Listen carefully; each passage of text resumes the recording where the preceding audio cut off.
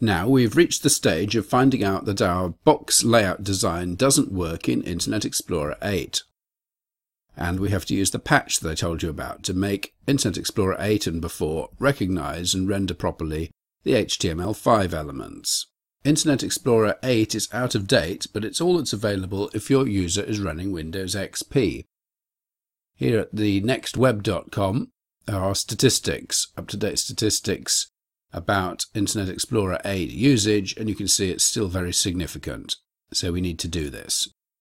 Go back to index.html, and below the links to the style sheets, make a little bit of space so that we can see what we're doing. And type in opening angle bracket, exclamation mark, two dashes. An opening angle bracket followed by an exclamation mark and two dashes is the way we normally comment outlines in HTML, meaning that we can read them, but they do nothing in the browser and are not displayed. But Internet Explorer from version 5 onwards recognizes conditional comments which begin in this way and runs any script in between them. No other browsers recognize anything inside these comment tags, so they completely ignore it. So we can use this to run scripts which are needed only for old versions of Internet Explorer. Close that off, and inside this comment, type inside square brackets if space lt, that means less than, space ie space 9, and then go down a couple of lines and close this off with angle brackets, exclamation mark, square brackets, end if. And then two more dashes and the closing angle bracket. And then everything inside those conditional comments will only be seen by Internet Explorer, and then only if it's Internet Explorer versions 8 or below.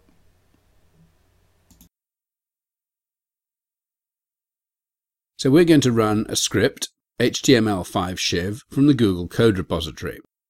So to run it, type in opening angle bracket script, and then its source, which is src equals, and then you have to type in carefully the path to the script at googlecode.com. http forward slash forward slash html5 shiv dot googlecode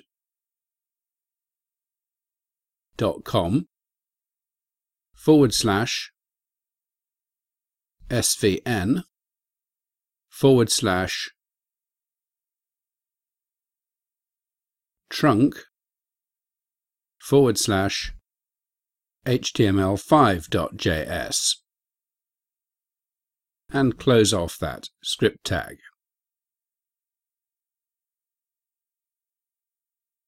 Now if you go back to the index page in Internet Explorer leaving the browser mode at Internet Explorer 8 and press refresh, and we should get our box layout. And you can try switching between the various browser modes all the way back to Internet Explorer 7, and it should be fine. We're not quite done with this problem yet, though, because if we tried to print this, we'll go to File, Print Preview, we'll find that the box layout is again broken. In order to deal with this, we need another similar script called HTML5 shiv print shiv. And I don't think this is available on the Google Codes in the Google Codes repository. So I've made a local copy in working files, chapter 5 styling, 0506 HTML shiv and scripts folder. Select and copy that and paste it in in a new folder inside favorite movies called scripts. So make that folder, go into it and paste in that script. Go back to index.html and inside this conditional comment, put in a relative link to that